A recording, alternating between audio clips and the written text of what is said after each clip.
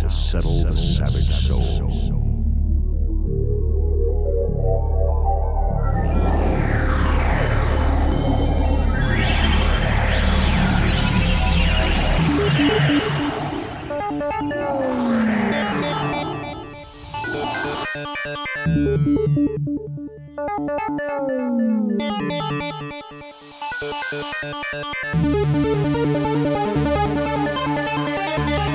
The